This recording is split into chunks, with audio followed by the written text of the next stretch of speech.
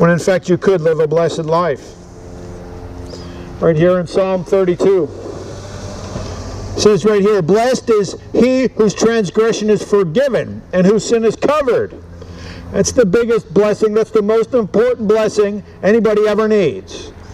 A lot of people say, oh, well, you, you, you got a pay raise, or, or you got a nice wife or a husband, or you got some nice thing in your life. What a blessing. No. What you need is to have your transgression forgiven and your sin covered. That's what you need. Blessed is the man unto whom the Lord imputeth not iniquity, in whose spirit there is no guile. That's the blessing you need. That's an eternal blessing. That's not a blessing that's going to fade with the next next time the, the stock market drops, or the next time there, there's bad weather and your house gets destroyed, or somebody lies to you and leaves you when they promised before God and everybody that they'd be your spouse for the rest of your life. That's not the blessing of the Lord for all of eternity. When I kept silence, my bones waxed old through my roaring all the day long. For day and night thy hand was heavy upon me. My moisture is turned into the drought of summer. Think about that. I acknowledged my sin unto thee, and mine iniquity have I not hid. I said, I will confess my transgressions unto the Lord. He is the one you need to confess your transgressions unto. See, the devil tells people, well, confess your transgressions unto a man. The devil says, confess your transgressions and your sin unto a priest. So some wicked pervert in some silly costume can hear about your sin. The Catholic Church can't do anything about your sin. Your religious activity can't do anything about your transgressions and your unrighteousness. You need to confess your transgressions unto the Lord. And the Lord forgave us the iniquity of my sin. Think about that. That's what happens with the repentant sinner that has faith in Jesus Christ, not faith in a church. For this shall everyone that is godly pray unto thee in a time when thou mayest be found. Surely in the floods of great waters they shall not come nigh unto him. Thou art my hiding place. Thou shalt preserve me from trouble.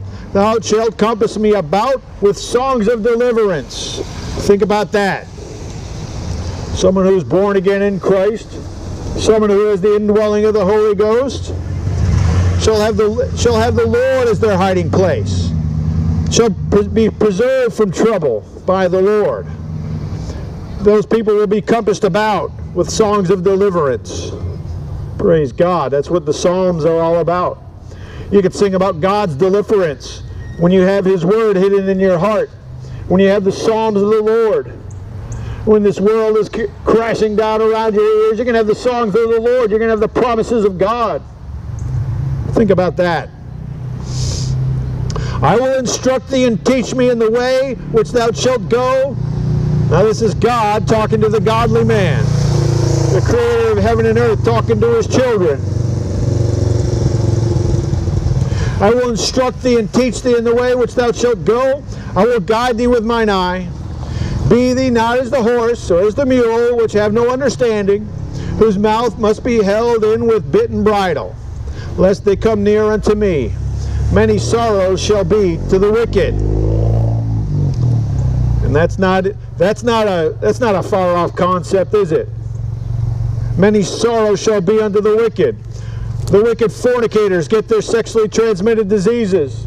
Their herpes and chlamydia and crabs and human papillomavirus and syphilis and gonorrhea and genital warts.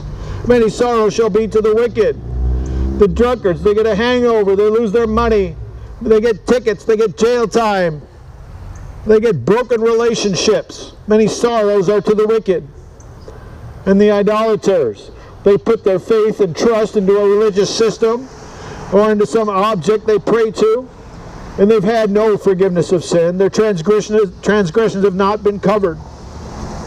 Many sorrows to the wicked. But he that trusteth in the Lord, mercy shall compass him about.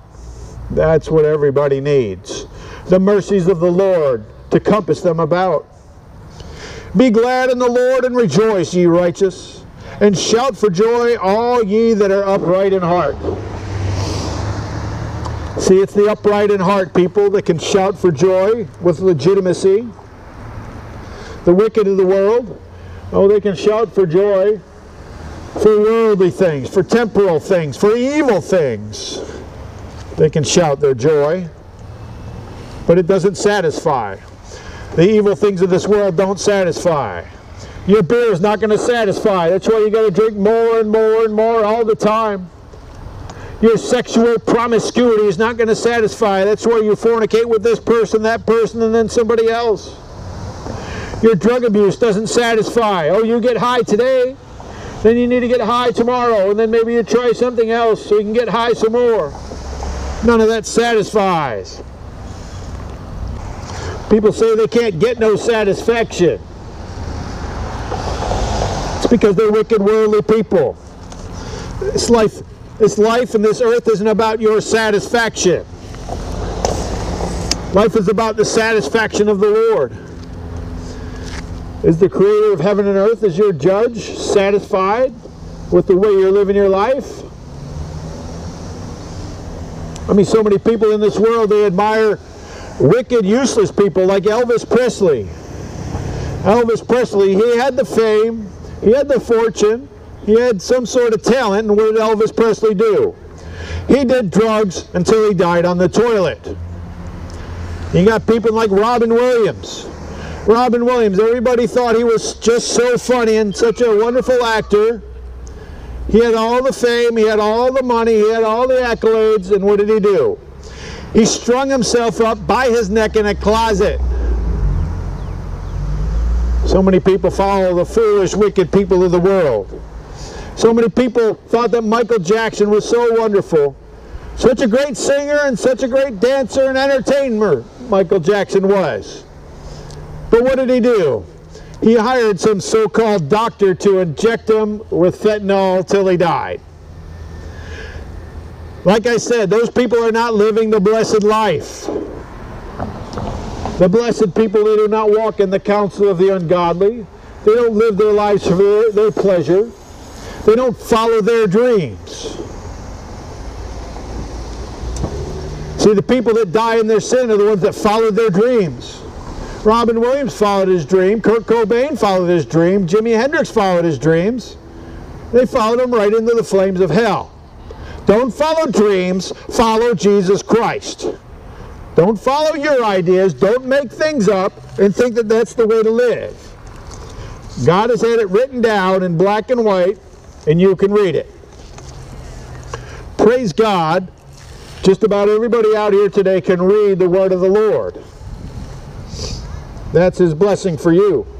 And praise God, anybody out here could download a good King James Bible app onto their iPhone. Now some of you may need to remove some of your pornography to make room for it. That would be a step in the right direction. But there's so many people in America today, they think just because they go to a church building from time to time, or maybe they've gone their whole life, that, they're, that that's how they're getting to heaven. But Jesus told, told us just the opposite.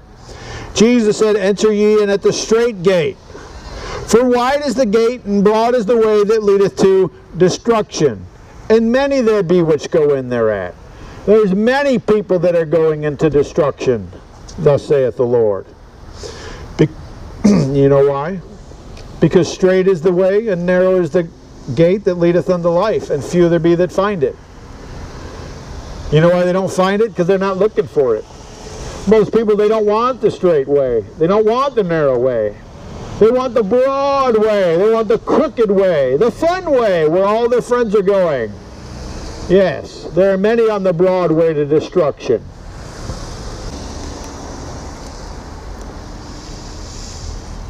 See, Jesus told us to judge. Jesus commanded his followers to judge righteous judgment. And right here in First John chapter 6, 3, it says, Little children, let no man deceive you. He that doeth righteousness is righteous, even as he is righteous. Praise God. He that committeth sin is of the devil. Are you committing sin tonight? That's because you're of the devil. Jesus told people that those people that sin, that They love their religious activity. They're of their father, the devil. For the devil sinneth from the beginning. For this purpose the Son of God was manifested, that he might destroy the works of the devil. Whosoever is born of God doth not commit sin, for his seed remaineth in him, and he cannot sin, because he is born of God. In this the children of God are manifest, and the children of the devil. Whosoever doeth not righteousness is not of God, neither he that loveth not his brother. See, the people of God love to do righteousness. The people that are of their father, the devil, well, they do the works of the the heathen are sunk down in the pit that they made. In the net which they hid is their own foot taken. The Lord is known by the judgment which he executeth. The wicked is snared in the work of his own hands. The wicked shall be turned into hell and all nations that forget God. For the needy shall not always be forgotten. The expectation of the poor shall not perish forever. Arise, O Lord, let not man prevail. Let the heathen be judged in thy sight. Put them in fear, O Lord, that the nations may know themselves to be but men. See, what we need more of America, and more in America, is the law of God. God's law is what would make America great again. Right here in Psalm 19, it says, The law of the Lord is perfect, converting the soul. The testimony of the Lord is sure, making wise the simple. The statutes of the Lord are right, rejoicing the heart. The commandment of the Lord is pure, enlightening the eyes. The fear of the Lord is clean, enduring forever. The judgments of the Lord are true and righteous altogether. More to be desired are they than gold. Talking about the testimony and the statutes and the commandments and the judgments of God. They're more to be desired than, than, than gold, yea, than much fine gold, sweeter than any honey and the honeycomb. Moreover, by them is thy servant warned, and in keeping them there is great reward. Yes, the law and the statutes and the word of the Lord, the commandments of God, the precepts of the Creator of heaven and earth. More valuable than gold and sweeter than any honey. Praise God for His word that He's preserved it for us for these thousands of years. Of course, that was His promise to preserve it unto every generation. Praise God. Seeing if you were born again, made a new creature in Christ, you could be somebody that praises God with your life. You could praise God like with Psalm 150. It says, Praise ye the Lord, praise God in his sanctuary, praise him in the firmament of his power. Praise him for his mighty acts, praise him according to his excellent greatness. Praise him with the sound of the trumpet, praise him with the psaltery and harp. Praise him with the timbrel and dance. Praise him with stringed instruments and organs. Praise him upon the loud cymbals. Praise him upon the high sounding cymbals. Let everything that hath breath praise the Lord. Praise ye the Lord. Do you have breath today? You're supposed to be praising the Lord with that breath. The Bible says, Let everything that hath breath praise the Lord. You should be praising Him because He gave you that breath that heartbeat in your chest. He started that heartbeat in your chest, and He's going to stop it one day, and you're going to stand before Him.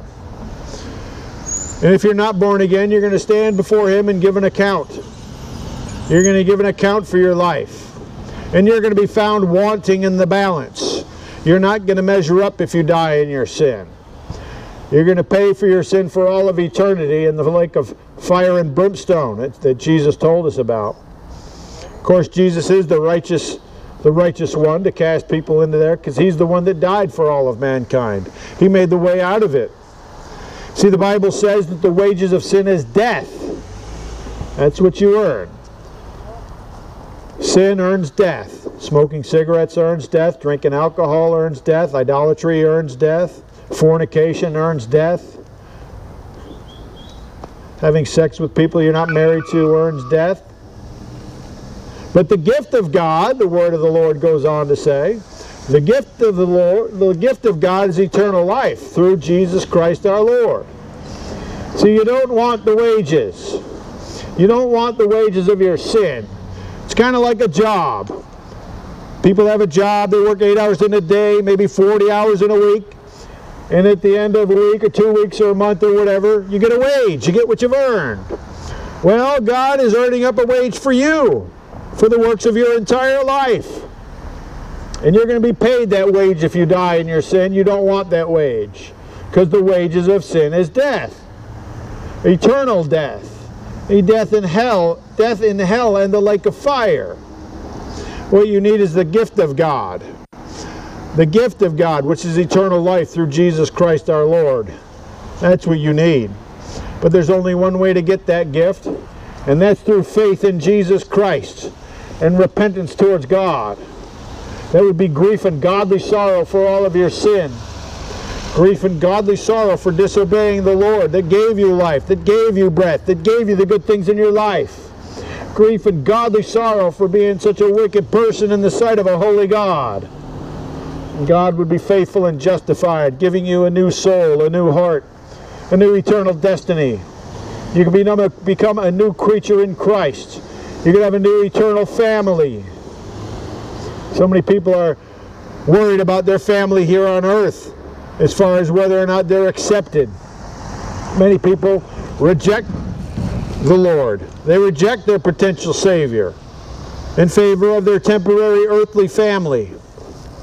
When Jesus Christ said he was going to divide the, the believers from the unbelievers, even if they're in the, the same household. You need to fear the Lord, not fear man. The Bible says right here, the fear of the Lord is the beginning of knowledge, but fools despise wisdom and, and instruction. Don't be a fool. Don't despise wisdom and instruction. You could, be, you could begin to have knowledge through the fear of the Lord.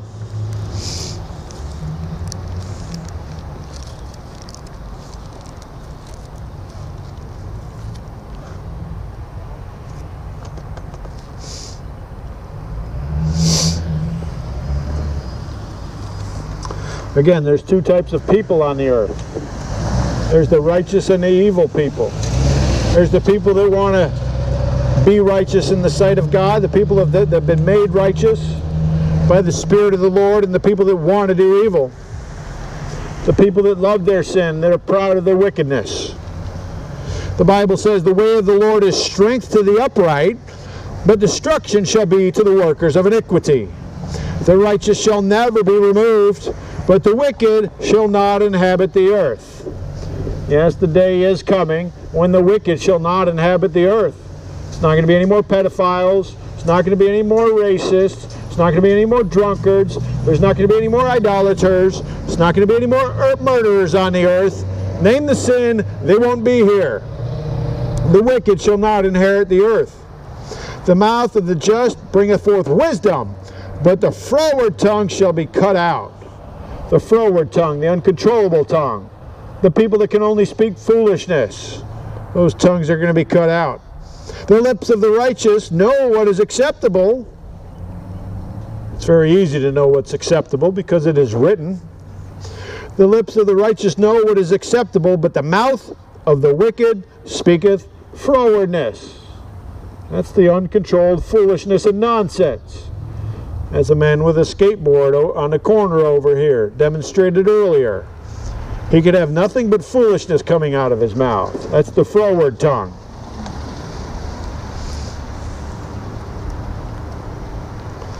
And that's part of the problem of this wicked generation. The Bible tells us about the, the generation that we have in America today. It says here in Proverbs 30, there is a generation that curseth their father and doth not bless their mother. That's pretty obvious. There is a generation that are pure in their own eyes, and yet is not washed from their filthiness. There is a generation, oh, how lofty are their eyes, and their eyelids are lifted up. There is a generation whose teeth are as swords, and their jaw teeth as knives, to devour the poor from off the earth, and the needy from among men. There's the wicked generation.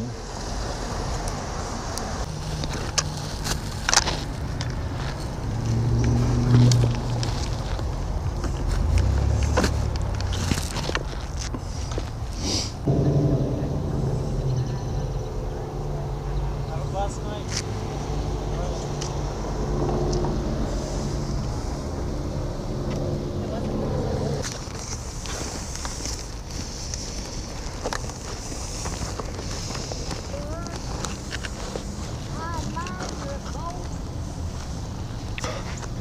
It's all all glory to God. All glory to the Lord.